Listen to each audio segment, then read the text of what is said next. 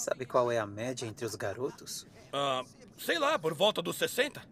60, é? É, acho que assim tá bom. Esse é o meu limite.